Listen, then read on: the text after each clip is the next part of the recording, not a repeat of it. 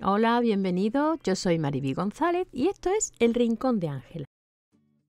En el vídeo de hoy vamos a reciclar esta botella y la vamos a preparar para regalar el Día del Padre. Es una botella de cristal que no tiene tapa, pero se la vamos a hacer. Para empezar la vamos a pintar con gesso. Ya sabéis que el gesso es una imprimación que nos permite pintar sobre el cristal sin ningún problema. Bueno, mientras pinto os voy contando. Ahora en España el día 19 de marzo es el Día del Padre, así es que voy a preparar esta botella para regalársela a mi hermano. Y en esta botella que es de cristal se pueden echar licores y vinos. Lo único es que tengo que hacer una tapadera hermética, pero eso es muy fácil, ya veréis. Esta botella, por cierto, es de agua, pero si tenéis alguna botella de vino o cualquier otro tipo de botella de cristal que tenga un tapón de corcho, también nos sirve. Pues como os digo, en este tipo de botellas podemos regalar algún licor casero o licor, bueno, si no sabemos hacer licores caseros, podemos comprar algún licor y ponerlo en esta botella decorada por nosotros mismos y regalarla para el Día del Padre a algún hermano, a nuestro padre, a nuestro marido o bueno, también para otro tipo de evento. Mientras seca la botella vamos a ocuparnos de hacer el tapón. Vamos a envolver con papel de aluminio una bolita de por spam. Si no tienes bolitas de este tipo, haces una bolita con papel de aluminio y la envuelves de esta manera, de forma que quede la bolita y un pequeño pirindolo en la parte de abajo. Es la bolita lo que va a ser la tapa y el pirindolito, no sé cómo llamarlo, va a ser la parte que se meta dentro de la botella.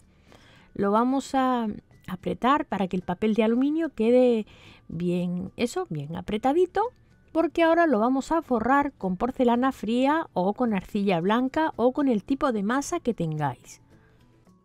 En el canal tengo un vídeo de cómo hacer un tipo de masa súper barata y que la utilizo mucho y es la pasta tipo polimérica con la receta de mi amiga Lola Temprado y os dejaré el enlace arriba en la esquinita para que podáis hacer esta pasta porque la utilizo en un montón de, mm, vídeos.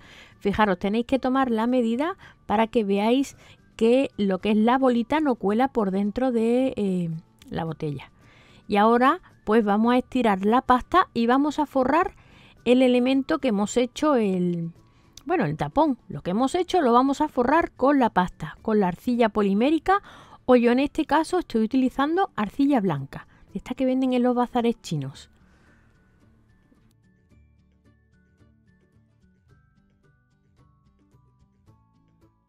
Le voy dando forma, fijaros, voy poniendo los em, trocitos de masa para ir cubriéndola y me va a quedar como una especie de bombilla o de pera y por cierto, ahí tenéis que ir midiendo en la botella para que me, os quede a la medida justa, que el pirindolo entre dentro de la botella y lo que es la cabeza quede bien bonita por la parte de fuera.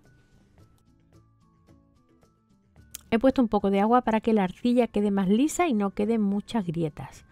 Tenéis que ir midiendo, ¿veis? Algo así os debe quedar. Si utilizáis pasta polimérica, para que os queden sin grietas tenéis que utilizar crema de las manos, para que os quede lisito. Con la misma pasta y un molde voy a hacer pequeñas florecitas.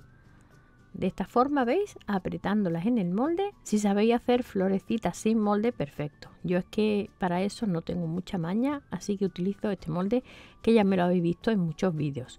Os dejaré el enlace si encuentro este molde de donde lo compré, os lo dejaré en la cajita de información del vídeo y si no, os dejaré el enlace a alguno parecido.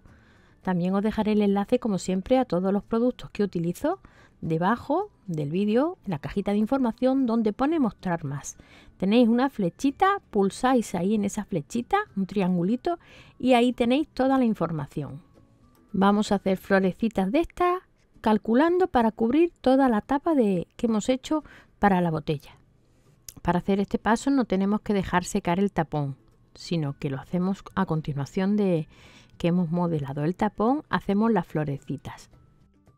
En el caso que tengáis una botella con un tapón de corcho, simplemente tendríais que modelar la bola de arcilla o de porcelana fría en la parte de arriba del corcho y tener en cuenta que el corcho entre y salga fácilmente de la botella, porque si ponéis la bola de porcelana fría o de arcilla en la punta del corcho y el corcho entra justo, cuando tiréis hacia arriba de la, de la tapadera de la botella, del tapón, vais a desprender esto que estamos haciendo, el tapón este de, de porcelana, lo vais a desprender del corcho.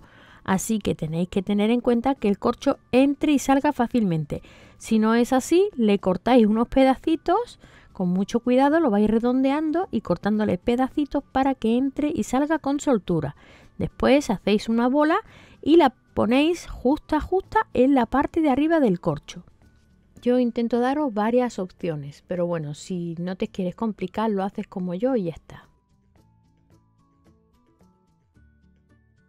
Ya tengo hechas un montón de florecitas y el tapón lo he metido en este vaso para que se seque. Ahora con cola blanca voy a ir pegando estas florecitas en el tapón.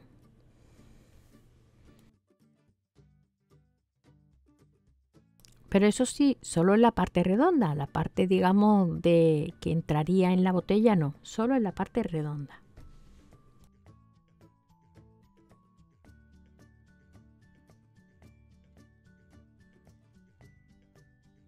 Ya tenemos todas las florecitas pegadas y os debe quedar algo así.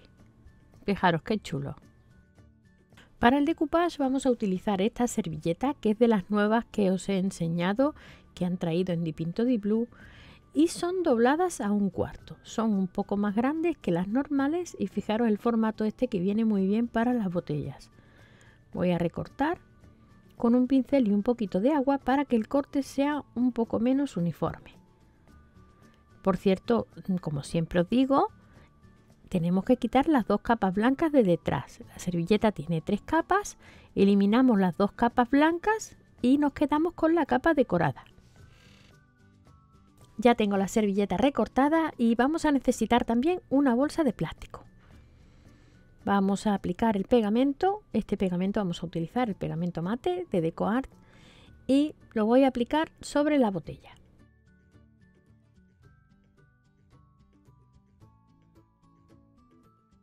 Ya tengo aplicado el pegamento y ahora voy a poner la servilleta por encima del pegamento con mucho cuidado, muy despacito, con mucho cuidado para que no se arrugue.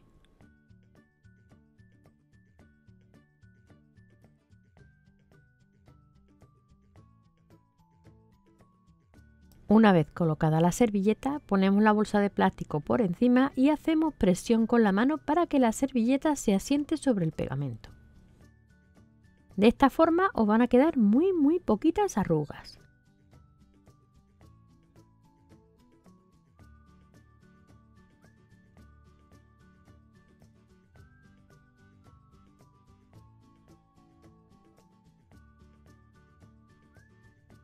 Una vez seca la primera mitad de la botella, hacemos lo mismo en la segunda mitad. Colocamos el pegamento primero, después ponemos la servilleta y después la afirmamos con la bolsa de plástico.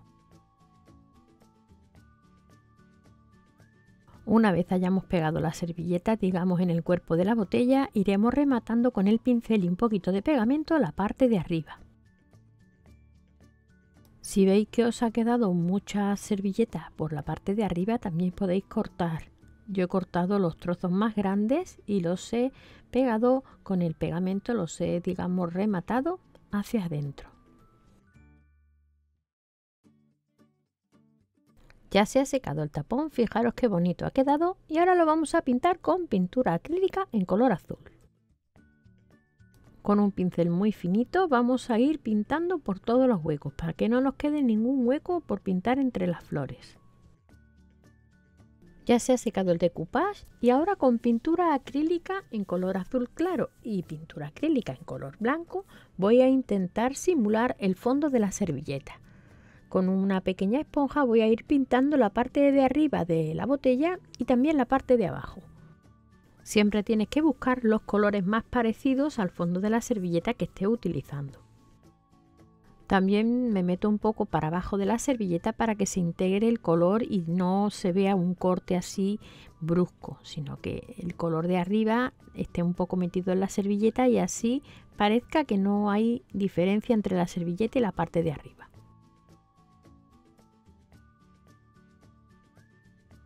También voy a dar unos pequeños retoques en la parte de abajo que no ha cubierto la servilleta por completo. Y voy a hacer lo mismo. Con el blanco y el azul voy a terminar y rematar la parte de abajo. Con la misma pintura azul que he utilizado para la botella y un pincel seco vamos a darle a los relieves del tapón. Ya sabéis que la técnica del pincel seco consiste en mojar el pincel, descargarlo y echar muy muy poquita pintura sobre el relieve de la pieza sin incidir en las partes más hondas para, digamos, darle énfasis a la parte que está en relieve. No vamos a entrar en los huecos, sino que solamente en las partes que están en relieve. Una vez seco el azul, haremos lo mismo con el blanco. Vamos a marcar en alguna de las zonas para darle un poquito de luz.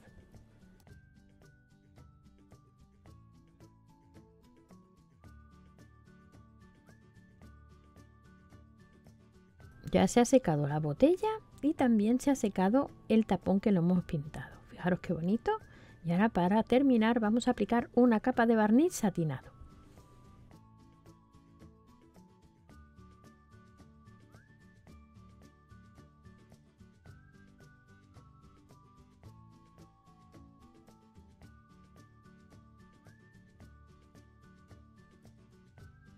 Y una vez seco el barniz, ya tenemos nuestra preciosa botella preparada para regalar en el Día del Padre. Como siempre, espero que te haya gustado este trabajo y si es así, déjame un comentario, dale a like y no olvides compartir este trabajo en tus redes sociales para que el canal siga creciendo. Y ya me despido, un besito enorme y nos vemos en el próximo vídeo. Hasta pronto amigos.